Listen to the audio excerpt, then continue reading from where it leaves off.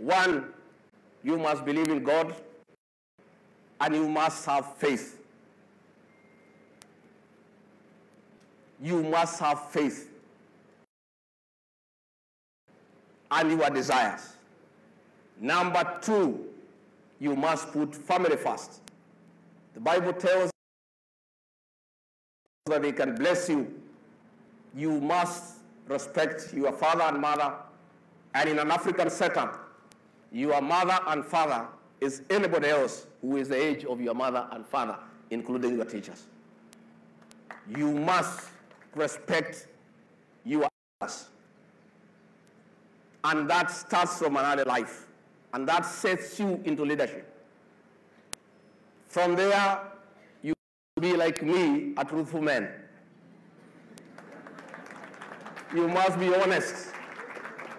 You must say it as it is and take the consequences, whatever they are. There is beauty in being truthful. Today, the people of Kenya know that Rigathi Gachagua is a truthful man. I say it as it is. During Kasarani, I stood before the whole world. I told the people of Kenya that we have inherited a broke country with nothing. I told the people of Kenya, even the stores, the rats had run away because there is nothing to eat.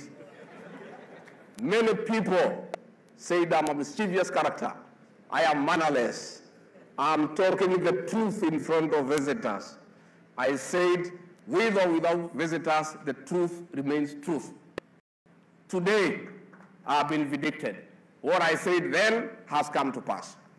And that is hallmark of leadership. My good people, brothers and sisters,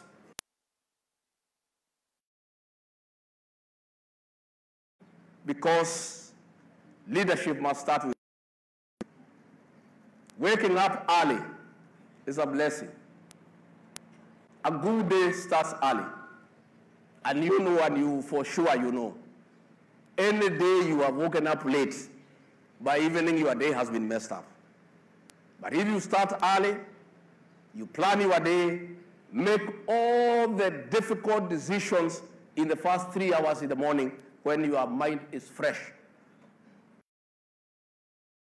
Things because your mind is not functioning as good. That is leadership. What difficult decisions you want to make? If you wake up at 6, make sure by 9 a.m. you have agreed within yourself what is it that you must do. In the afternoon, do routine things, call your friends, because you don't normal things.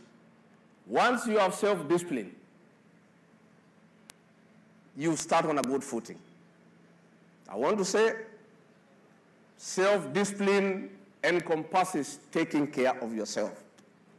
For you to become a leader, you must be alive. For you to own a company, you must be alive. And you must be healthy, both mentally.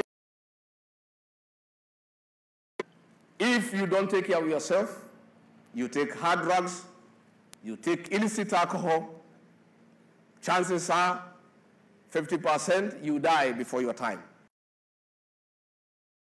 Percent is that you become a zombie, a vegetable just walking around brooding. I was walking in the streets of Mombasa this morning at 6 a.m.